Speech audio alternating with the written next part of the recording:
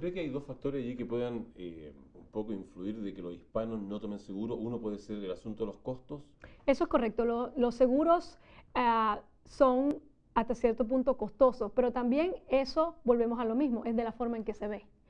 Es un costo necesario. Sí lleva un costo a la familia hispana, como todo, como es la luz, como es el agua, pero hay una necesidad. Las estadísticas nos muestran que la mayoría de los accidentes pasan cerca de nuestro hogar, algo que usualmente no reconocemos ni, ni percibimos como algo real. Por lo tanto, el seguro no hay que verlo como un gasto, sino hay que verlo como una necesidad y hay que ponerla como parte del presupuesto familiar. El hecho de especializarse en lo que es daños y perjuicios, ¿qué conlleva? La rama de los daños y perjuicios cubre todo aquello que visualiza el caso civil en contra de una corporación o en contra de otro ser humano, porque por negligencia de otro, usted o un familiar ha tenido un daño a la persona.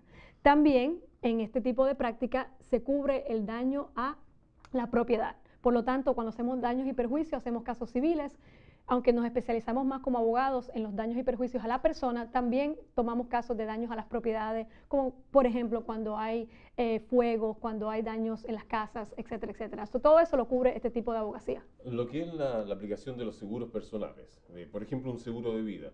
¿Qué sucede con un inmigrante que aún no ha regularizado su situación acá en los Estados Unidos y toma un seguro de vida? ¿Se aplica esto? ¿No se aplica? Definitivamente, el seguro de vida simplemente es un contrato. Un contrato que usted simplemente toma cuando está con nosotros, paga unas primas, unos dólares, y en el momento que ya usted haya fallecido, sus familiares podrán colectar de esa póliza. Eso no tiene nada que ver con Es legal. completamente separado. Eso es correcto. Así es que se lo comentamos a usted, señora, a usted, señor, tome nota de esto. Si gente que desconoce esto y dice, bueno, yo para qué voy a tomar un seguro si luego al momento de cobrarlo por mi estatus social, por mi estatus migratorio, no lo voy a poder hacer válido, acá nosotros le estamos dando la información precisamente con la licenciada Hernández, especialista en la materia en todo lo que es daños y perjuicios. No tiene nada que ver una cosa con la otra. Me gustaría también, expa- eso es correcto, no tan solo para los seguros de vida, pero me gustaría expandir en los ah, accidentes de automóvil. Hay Correcto. muchas personas que eh, están en nuestro país sirviendo a nuestra comunidad, pero por una razón u otra no tienen un estatus legal.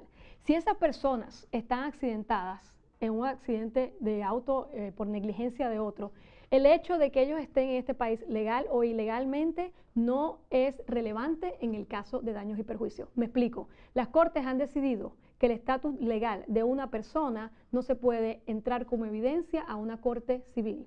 Ese caso lo, hizo ley de la Florida, la compañía de Allstate, cuando el señor Maldonado estaba en una bicicleta y fue accidentado por un vehículo y Allstate llevó eso hasta la corte para poder decirse entonces, en el estado de la Florida, cuando tenemos una persona, tenemos el derecho nosotros como compañía de seguro de poner al jurado de que eran legales o ilegales y la corte dijo absolutamente no. Así que en el día de hoy, si hay algo que podemos aprender con ustedes en esta mañana, es que el estatus legal de una persona en un caso de accidente es irrelevante. En otras palabras, si usted ha sufrido lesiones y usted no tiene estatus legal, no tenga miedo de contactar a un profesional para que se le dé la ayuda necesaria. Un cambio bastante importante las leyes ahora en el mes de enero de este año. Eso es correcto. ¿A, a qué se refieren estos cambios para que nuestros televidentes eh, conozcan un poco más a fondo? En el 1971, o sea, hace ya muchos años, en el estado de la Florida se comenzó un tipo de seguro que se conoce como el PIP en español, en inglés se conoce como el no fault. En otras palabras, un seguro que usted compra básico que dice así, no importa de quién sea la culpa del accidente, si usted tiene un daño físico, el 80% de sus gastos razonables incurridos hasta por lo menos 10 mil dólares serán cubiertos por su propia aseguranza. En otras palabras, cuando alguien nos accidenta, no vamos a ir al seguro de ese alguien, sino que vamos a ir, llamar a nuestro propio seguro para que por lo menos el 80% de esos gastos médicos sea pago. Entonces, bien, en el 2007, en octubre primero del 2007, esa ley que estaba desde 1971 en los libros caducó y no se renovó. Hasta enero del 2008 que volvemos a renovar la ley con unos cambios bien significativos. Ahora la ley eh, tiene unas especificaciones en, en cuanto al pago, en cuanto a quién usted puede elegir para que dé su tratamiento y cómo se van a dividir esos beneficios disponibles. Por lo tanto, si usted está en un accidente desde enero primero, ahora la ley ha cambiado significativamente, no asuma que porque usted tuvo un accidente anteriormente, la misma ley va a aplicar. Ahora bien, ¿qué es lo que debe hacer la gente cuando se ve envuelta en cualquier tipo de accidentes?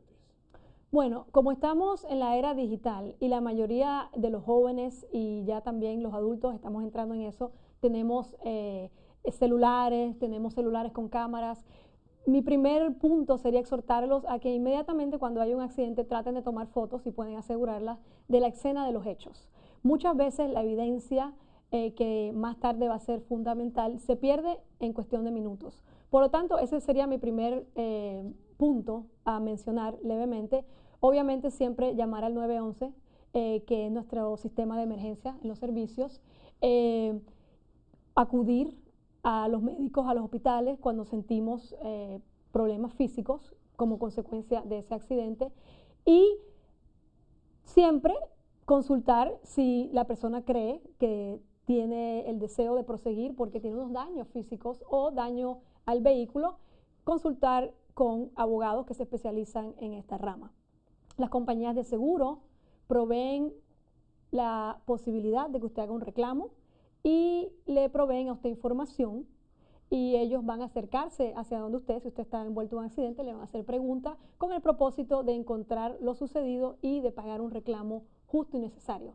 Ahora bien, las compañías de seguro no son gobierno, son empresas privadas y por lo tanto ellos solamente van a pagar lo que ellos consideren que es razonable basado en la investigación que ellos hacen.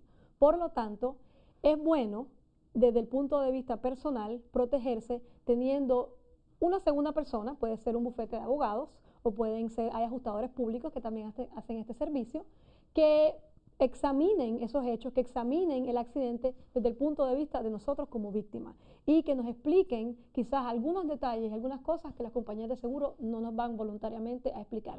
Yo sí creo, porque como hablamos anteriormente, comencé con las compañías de seguro y fui entrenada por las compañías de seguro y he tenido esa experiencia, que las compañías de seguro como regla general quieren pagar reclamos justos y necesarios.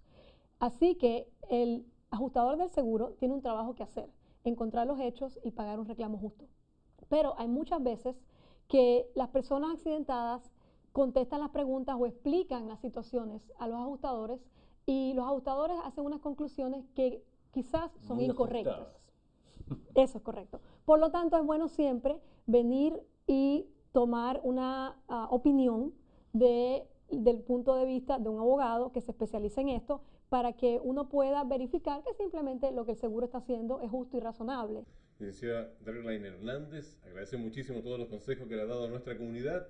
Hemos aprendido hoy cosas nuevas y por supuesto es muy grato contar con profesionales como usted acá en Viva Orlando. Eh, le cuento que vamos a seguir conversando en otros programas con usted. Gracias. Va a ser un privilegio también, por supuesto, para que nuestros televidentes estén al tanto de todo lo que es la parte legal de daños y perjuicios. Eh, como un dato, usted está trabajando muy directamente con la comunidad mexicana acá en la Florida Central. Lo conversábamos antes de iniciar el programa. ¿no? Eso es correcto. Estamos sirviendo en, eh, como parte de los miembros de la organización que dirigen eh, el sistema de, eh, en inglés se dice el Credit Union, el sistema comunitario de, de banca de la Asociación de Agricultores. Eh, tenemos oficinas en Apopka, tenemos oficinas en Pearson, tenemos oficinas en Homestead y con mucho orgullo llevamos ya varios años eh, sirviendo a esa comunidad porque pensamos que el servicio es la misión. Nuestros saludos a Tirso Moreno, ¿no? ¿Cómo no? Nos saludamos por supuesto a él y me gustaría que nos, antes de, despedirnos de la licenciada, eh, recordarles que la próxima semana tenemos eventos acá en la Florida Central. Y esta semana, este viernes, vamos a estar celebrando la independencia del Perú. Así es que visite nuestro sitio web www.asaorlando.com. Hay una gran actividad, hay un gran evento relacionado con la independencia del Perú. Y si usted quiere recibir mayor información vía telefónica, anótelo. 407-574-2209. 407-574-2209. Hay un gran banquete este viernes. Y nosotros aquí nos hemos dado un banquete en realidad con todo lo que es la información relacionada con los seguros.